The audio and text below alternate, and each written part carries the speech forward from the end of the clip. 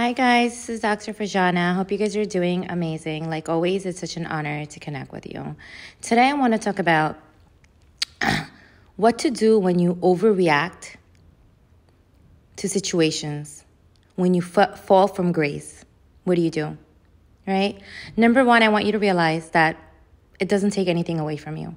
You are human, and sometimes when you are stressed, when you feel like you are, there's sudden dynamics that are new, sudden new dynamics that really throw your routines off, that just overwhelm you immensely, sometimes you're going to overreact.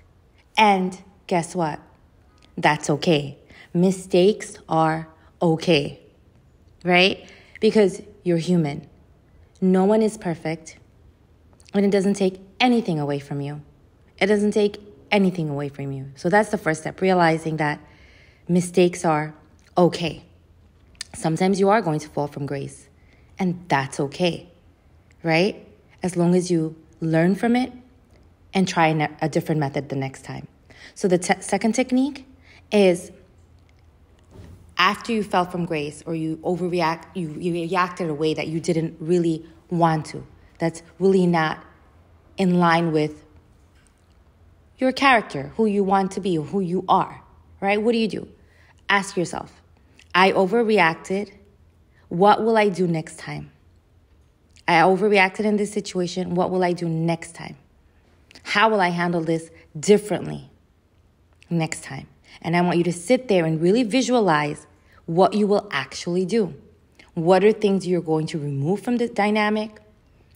right? What are things that you're going to add to the dynamic to help the situation, right? Basically, be very detailed on how you are going to handle it the next time differently and really sit there and visualize it. Those are the two simple techniques. Okay? So, again, you fell from grace. That's okay. Mistakes are okay. Mistakes are okay. I'm human right? I did my best, and mistakes are okay.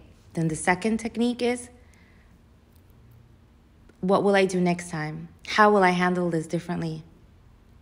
And be very specific, very be very specific in your methodology and visualize it and then try it.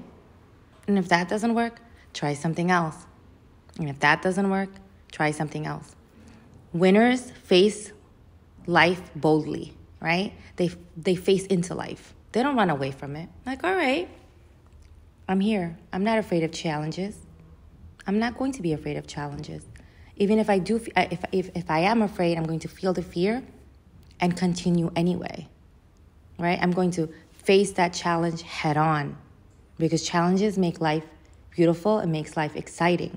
doesn't make it mundane and repetitive. It breaks up the monotony so when challenges do occur, I'm going to show up.